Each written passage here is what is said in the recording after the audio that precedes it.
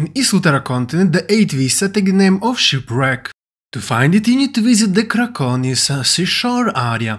To be precise, start from its uh, top right side where the Black Fox Assembly area report can be found.